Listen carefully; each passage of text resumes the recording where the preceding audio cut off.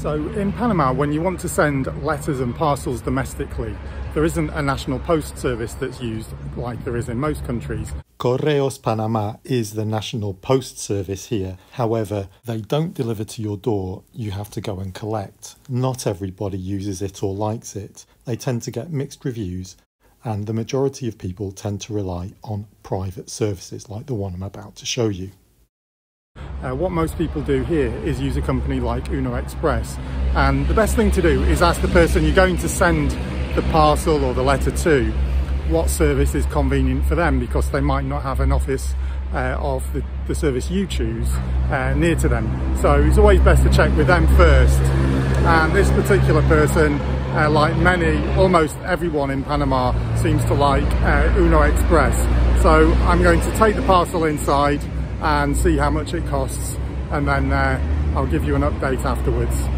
I'm going to collect a parcel first and in that parcel is the payment for the book that I'm going to send the same person. I've sold it on Facebook. You might wonder how people sell things online and send them and receive payment. This is one way, they send you the cash first and then you send. If you're selling on Facebook, you always need to receive the cash first before you send the item. If you're a buyer and uh, you want to take the risk, the risk is all yours. I've never done it and I don't recommend doing it. I've just collected my parcel, took one minute, and all I had to do was just sign a paper and uh, to send the parcel, which was just over uh, 1.4 kilos, around one and a half kilos, uh, it cost me $7.50 all inclusive. And I just had to show my ID. They noted my ID number and uh, gave me a, a, a ticket uh, and a receipt. Uh, it's interesting to note here that the addresses in Panama aren't like the normal addresses that you have in the rest of, of many countries, let's say.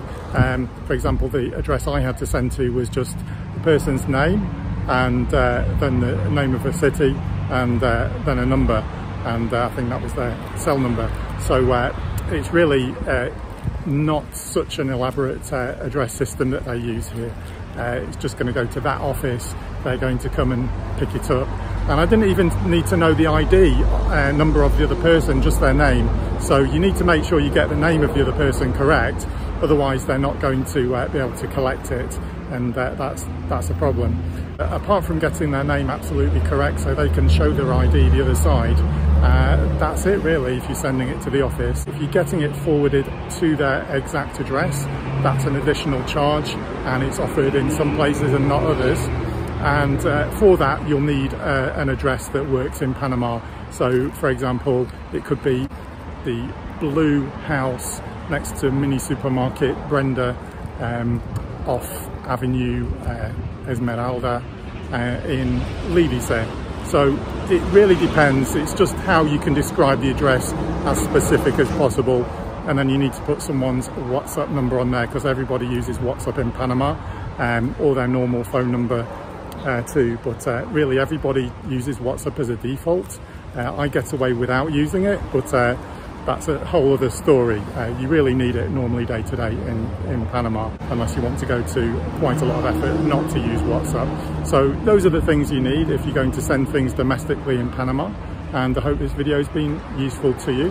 Uh, please don't forget to subscribe because there's lots more I can show you about Panama. Gonna do videos on all kinds of subjects. That's why the, can the that's why the channel's called Everything Panama.